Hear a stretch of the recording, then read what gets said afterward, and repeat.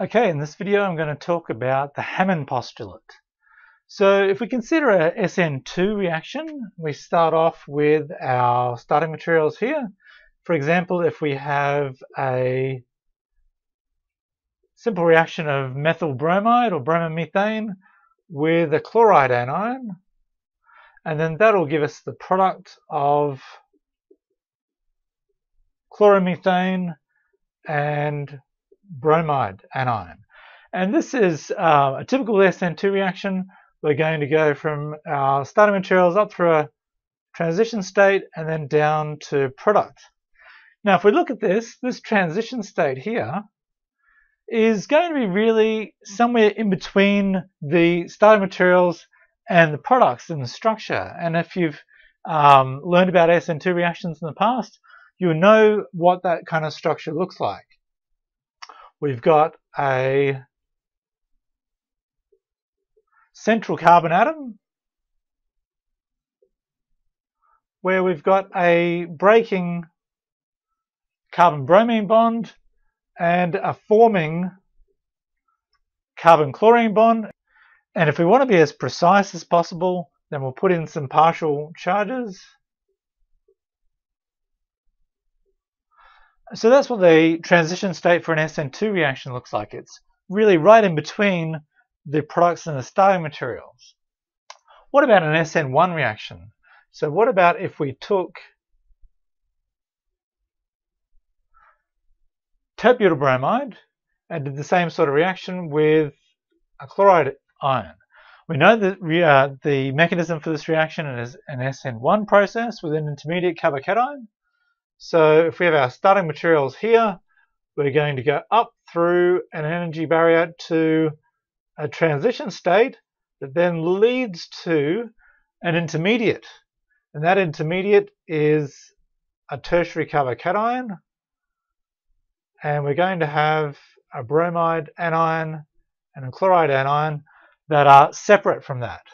And that goes back up through another transition state and down to our products. In this case, we're going to have tert-butyl chloride and the bromide anion. Okay, so each of those transition state structures really looks like the thing that they're closest in energy to and that they're directly related to in terms of the reaction profile or the reaction pathway. So this transition state here and this transition state here are both going to look very similar to the uh, tert-butyl uh, cation.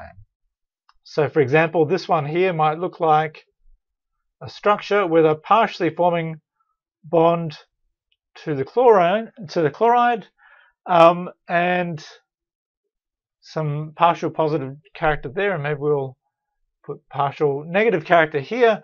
But overall, there's going to be this is going to very much look like a chloride anion interacting with a tert-butyl carbocation. So very similar in structure to this intermediate because they're close in energy. So what about if we look at protonation of an alkene? So if we have a simple alkene like this one and we treat it with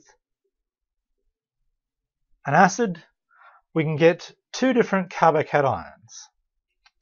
So let's look at the first example where we protonate at this central carbon here.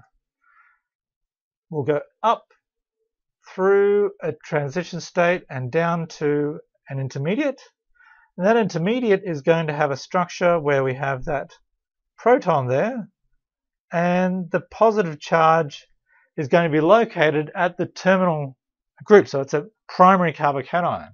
We know the primary carbocations are very high energy species. Now what about if we look at protonation of the other end of the double bond? So we're going to protonate here. We're going to start in the same place, go up through an energy barrier down to an intermediate like that. And that intermediate is going to have a different structure. It's going to have the added proton at the terminus and the positive charge is going to be on that central carbon. So it's the tertiary carbocation. So we know that tertiary carbocations are much more stable than primary. And so we know those intermediates are going to be different energy. But what we also know is that the transition states leading to each of those are going to be similar in structure to the intermediates themselves. So for example, this transition state here is going to be very similar in structure to this primary carbocation. It's going to have a very well-developed bond to that proton. It's going to have a very significant uh, positive charge or partial positive charge at that primary position. And so this transition state looks very much like the primary carbocation that it's closely associated with in energy and along the reaction pathway.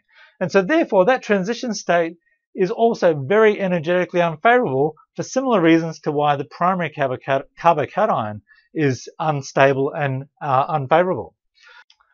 Okay, so overall this is uh, what's known as the Hammond postulate. And my definition of the Hammond postulate is that a state on a reaction pathway more closely resembles its neighboring state that is closest to it in energy. So for this intermediate here, the transition states either side of it closely resemble that intermediate rather than the starting material or the products.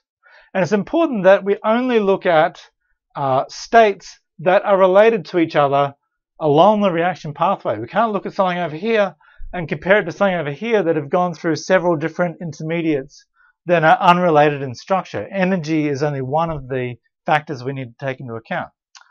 So hopefully you found that useful and uh, good luck with your studies.